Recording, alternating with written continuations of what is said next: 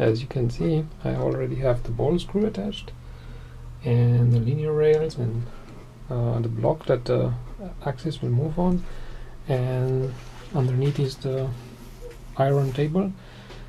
Um, so I just have it backwards now for testing and then some adjustments. I had some trouble um,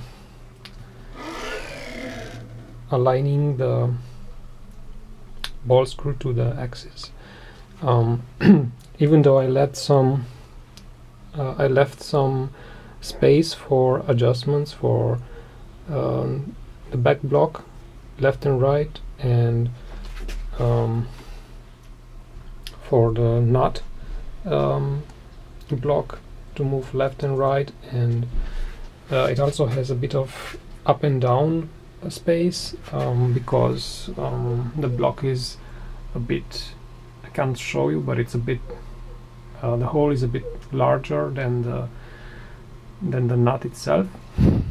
Um, but it was still not enough because I, I I am not able to work that precise yet. So I had to uh, progressively take cuts on top of, of the top of the of the nut block and then test it again and see if the ball screw can move smoothly and so this took quite some time.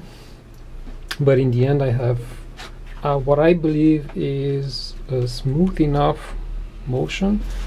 Uh, as you can see I can easily turn by hand the ball screw. And if I push the table by hand it it rotates this the screw so I don't have much experience mounting ball screws but I think I got it somewhere where it's safe to operate. Um, I'll see in time if if it all works out well. Um, I, if I turn the table um, vertically the the, tab the table starts to slide by its own by its own by its own weight under gravity. So I think it's it's parallel enough because um, it's a bit difficult to measure this thing um, and I don't have the proper equipment for that. Um, but what I can see and I'm pretty amazed is that I have this um, dial indicator here. And of course this was to be expected. But what I can see is if I just hold the, screw with with such a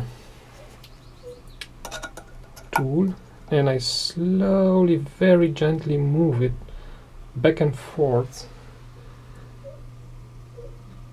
even the tiniest motion of the screw has an immediate effect on on the indicator. And I'm very happy with that because that means I have close to zero backlash in this ball screw. I mean this is a precision ball screw. Uh, it's grounded uh, NSK so got it um, second hand from eBay um, and quite cheap for its quality. And I'm I'm happy I'm happy with this because because I've never seen something like that before. I only read about it so now I can see it in my own eyes. And it's pretty amazing. And I mean the rigidity of this thing well I hope it's rock solid. Even though the linear rails are a bit slim um, I've read about the ratings and seems to be pretty okay. And now we'll see how the whole machine behaves when it's all mounted. But so far so good